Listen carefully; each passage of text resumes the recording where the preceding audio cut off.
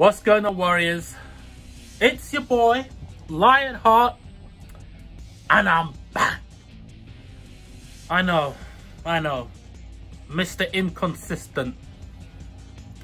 To be honest with you, I've got no real reason for it, right? I've kind of just been taking the time to just relax, man. Relax, enjoy my video games, work out, train, study, all that type of normal stuff, right? So I've just been in a place mentally of zen. Uh, so yeah, but you know, look, we're back, man. We're doing this YouTube thing. You know, I appreciate you guys. People are still liking. They're still um, subscribing. You know, thank you to all the warriors, everybody that is still supporting. I really appreciate it. And to be honest with you, this is my favourite time of the year anyway. Yeah one of the blessings of being born on the 15th of June, yeah, that's my birthday, is I always get a blockbuster movie. Or I get a godlike video game deluge of content. And this year, no different. As far as I'm concerned, today is the start of E3. Yeah. Or the summer tsunami of gaming information, shall we call it. Because let's be honest, E3 is dead, right? The only thing that um, E3 really gave us that was really worth anything is a time of the year, which is June, my birthday month and we're about to get into it. We're going to talk about all the things that I want and I'm hoping to see from E3, right? So today we have Ubisoft forward their E3 2021 presentation, yeah? And that's going to happen from when I'm starting to do this video in real time, yeah? It is, well, that's no point, is it? But let me say it anyway. It's two hours from when the Ubisoft press conference is about to happen in the UK. And it's going to happen in the UK at 8 p.m. So what I'm personally expecting from Ubisoft, I'm not going to talk about the DLC or anything that is currently out, like, you know, Division or the Assassin's Creed Valhalla. I'm not really or you know Watch Dogs Legion. I don't really want to talk about that stuff. I want to talk about brand new stuff, yeah. And what I'm excited for is Far Cry 6. I want to see more about of that game. I want to hear more about it. Like I look at that game and I can't see one reason why I wouldn't get that game. That game looks godlike. You know, I like the characters, the worlds, you know, the combat, the the talk, the banter. The story should be interesting. Yeah, mate, I'm on it. I'm on it, so I'm very, very interested in that game. So, yeah, just excited to see what's going to happen there. And my wish to see out of the Ubisoft press conference is Splinter Cell. I'd love to see a new Splinter Cell, man. Come on. Please. Dude. Dude. Splinter Cell, man. Let's get it right? So pretty much, to be honest with you, that really does it for me when it comes to Ubisoft. Because look, we ain't going to see Beyond Good and Evil, yeah? We ain't going to see any kind of games like that. Because I think they put out like um, a tweet or there was some type of information go around which, you know, it's kind of obvious that that Beyond Good and Evil is still in very, very early stages of development. I don't know how something that has been announced years ago and some content was shown for it is years out, but you know, whichever. Yeah. So I don't know about that game, so I don't really want to address it. What I can see are the games that I mentioned, Splinter Cell and Far Cry 6. I'd love to see those games. Yeah. Now, let's look at... Now, there's two companies that could steal E3. Number one, Xbox and Bethesda, or Microsoft and Bethesda. they could absolutely blow everything out of the water. Bosh in one go. Yeah, although the Bethesda showcase is going on on the 13th of June. Today is the 12th of June. All right. So what I um, would be cool to see, maybe Gears of War 6. Yeah, and I talk about no stinking CG trailer. I don't see, no, this is the reason why I don't like E3. Because E3 is just synonymous with empty promises, fake demos, fake CG movies, CG movies, and gameplay that is not even a real gameplay that even remotely uh, represents the final product. And that's the reason that I'm done with E3. I'm done with it. Yeah. So if we see Gears of War 6, that'd be really cool. That'd be really interesting. Yeah. Also, um, Halo Infinite. Yeah. That's a game that we definitely are going to see. 100%. Because what we have to realize and remember is the whole gaming industry as a whole, yeah, has changed. You know, the shit house that was 2020, yeah, that shit house year, man, right? It showed everybody, because we were all in lockdown, I think everybody has developed a awakening to media and entertainment within your home. Because I'll be honest, myself personally, I have the internet, but I never looked at the internet the way I looked at the internet before. The plethora of information that you can get from the internet, I never noticed it. Social media, I'll be very honest with you. I've had I have social media, but I've never looked at social media. Not really. Until this bullshit pandemic era that we're going through. Right? The C virus era. Yeah. I've never really paid attention to anything. Movies, I watch movies, but I've never submerged myself in movies, anime, gaming, and media and it just gave me time to understand, learn and develop certain things and understanding of aspects of the world and the like the whole world actually. Not just what happens in the UK but everywhere. And I just feel like I've become enlightened. Which I think everybody has become enlightened and there's certain inadequacies within society that have been exposed right? So it's like really fascinating. And one of the things that has come out of it is gaming. Gaming has come out as a MVP for saving people's um, sanity, you know, giving people something to do, enjoying it, submerging their their conscious thoughts into a fantasy world or whatever you're doing.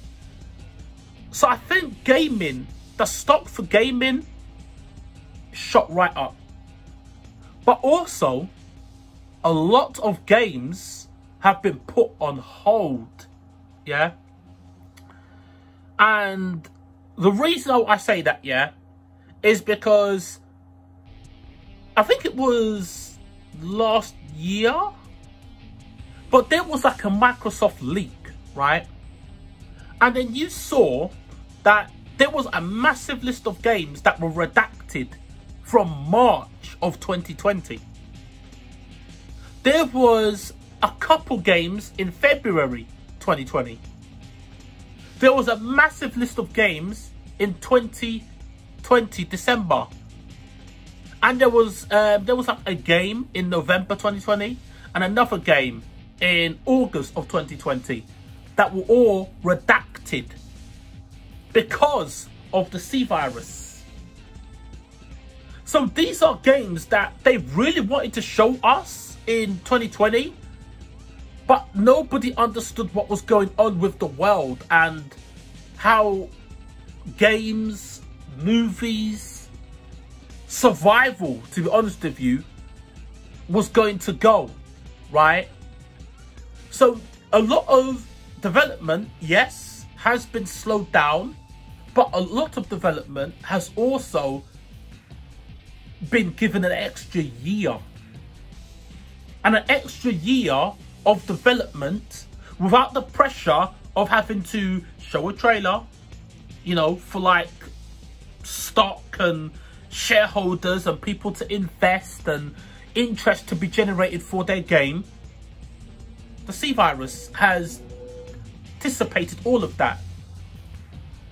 So this year, we are going to get an absolute barrage of games. Do not be surprised if this month of June, slash E of gaming, slash E3, we are going to get hit with so many trailers, so much content, so much information. It's going to be absolutely ridiculous, right? So yeah, I just wanted to give that context in terms of what I was saying. Yeah. Like, for example, Halo Infinite. Like, that trailer that they showed was an absolute joke, bro. Absolute joke. And then afterwards, it's come out that it was an absolute disaster. You have devs leaving, directors of the game leaving left, right, and center. They have no direction. It was basically a sham. It was embarrassing. Yeah but it kind of it explained why the game the trailer that they showed just looked like an absolute joke right? That game's been given a little bit extra time to clean it up. Let's see what they're going to show us in this E3 and they will show Halo Infinite. They 100% will. They have to yeah there's also I hear like they're going to be they might be showing Perfect Dark which I'm I'm interested in, man. Let's get it. Let's get some Perfect Dark, man. Cause I remember Perfect Dark from when I was a kid, right? So yeah, I'd be very interested to see that, like a brand new version of it. Yeah, I like it. I like it. And, you know, we got to also remember that a lot of studios were purchased by um, Microsoft, yeah, that we've not heard about, right? They've com been completely out of the picture because of, you know, the shithouse that was 2020. Yeah. So, yeah. I want to see what's going to happen with a lot of Microsoft and um, Xboxes, studios. What's going to come of it? Uh, what are they going to blow our minds with? So hopefully, they could show us something that is going to absolutely just blow our minds, right? Because also we got to remember is they are with Bethesda, yeah? Now, when we look at Bethesda, I want to see some more Deathloop, bro. I'm excited for that game. Deathloop looks godlike. And they also delayed that game because they want to put that extra polish on it. Man, I love that because the game already looks good but it looks like it could be better, right? And they are, and they kind of actually see that, right? So I'm happy that they say that, that look, we ain't gonna rush it out. We're gonna wait a little bit, put some extra time. We got some more ideas. We're gonna polish that game up, super polish. You know, because since the Deathloop was being made, the acquisition of Bethesda was made by Microsoft. So now there's a lot more money in that company. So maybe, no, def definitely, Microsoft are basically saying what games have got the most promise? What games have we got going on right now? Do you guys need extra time? Do you need extra help? What's going on, people? And they looked at Deathloop and said, you know what? You need more resources? You got it. We believe in you. We know what you can do. You got it. I love that. I'm so happy about that. So yeah, that's Deathloop. Oh, it would be so awesome if they were to give us a new Wolfenstein. I would absolutely love that. Bro, if they show us a new Wolfenstein trailer, bro, that's going to be mad. That's going to be mad. And they go back to Blazkowicz man, I'll, I'll be so excited to see that. Um, I mean, the one with the daughters, I mean, it was a good game. But the thing is with it, the story was just so, it was so dotted, man. There was like maybe two or three story cutscenes in the whole game, bro. They were long, but they were too far and few between. As I said, literally like three or four, if even that, man. So, I don't know, man. It would be awesome to see a new Wolfenstein and they go back to Blazkowicz. If they are going to do the daughters, I won't, I won't mind. I really won't if they decide to go with the, the, the daughters, Blazkowicz daughters again. But they've got to come with a proper Wolfenstein story, bro. Of violence and just packed with story, man. No shortcuts. No trying to say we're trying to make this for the speedrunning community or we've noticed that people don't play our games all the way through to the end so we're trying to make a short game. Nah. Look at what made your other Wolfensteins good. And follow that. Follow that, bro. So yeah, I'm excited. Hopefully we'll see that. And then, of course, we're going to see uh, Starfield. Yeah, look, man, they will 100% show that game. They have to show that game. There's no doubt about it, right? Look, man, Microsoft, Bethesda, as I said, they could absolutely blow everything and anything out of the water, yeah? And then there is one other monster. Capcom. That company, bro, has turned, it has gone from a wet fish,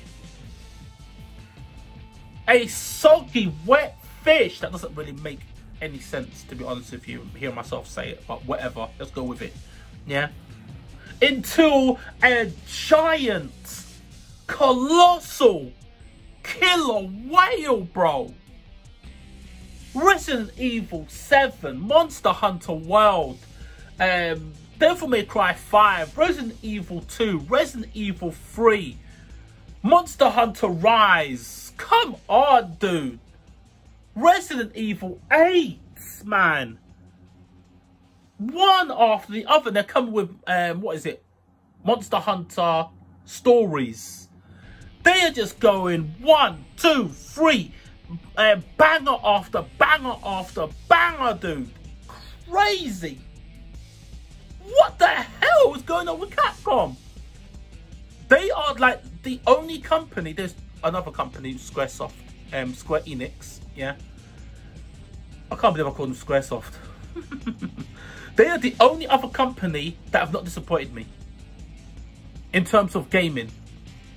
Capcom and Square Enix. Everything else disappointed me. Disappointed me. Well, no, Persona Royal. I was very happy with that game. That game did not disappoint me. So I can't say that. Right, and there was another game that was released that was not Final Fantasy, was not Square Enix, and was not... Yes. All them other games, bro, like Cyberpunk and Marvel Avengers, just straight disappointments. Like, I don't want to see it. I don't want to see it. But Capcom, I want to see what they're going to bring, bro. I need to see it. Because they, you know that, I mean, look, they've already, they've already thrown so much at us, man. But believe it or not, I feel like they've got more, bro.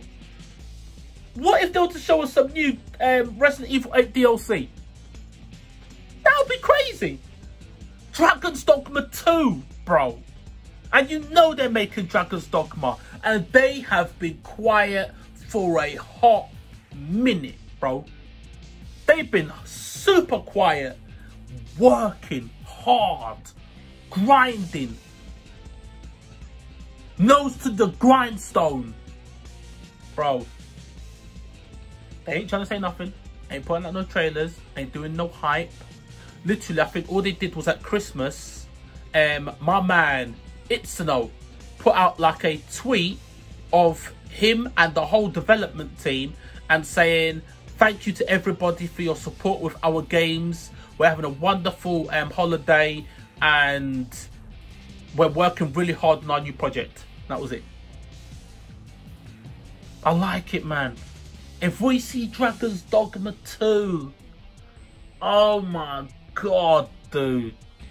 Mate, they could steal it. They could steal E3, bro. Really. So I'm so as I said, I'm really excited about that. Uh, it'd be, as I say, it would be awesome to see maybe some Resident Evil, some Dragon's Dogma. Definitely going to see some Monster Hunter Rise in there. I don't think they're going to show us any kind of DLC with Monster Hunter. Um, yeah, with Monster Hunter Rise. Maybe there might be a new DLC monster trailer they might show. But definitely going to see Monster Hunter Stories too. We're going to see some type of content from that game. But anything else could be a surprise, right? Because if you remember, there was a leaked list, right, of Capcom games.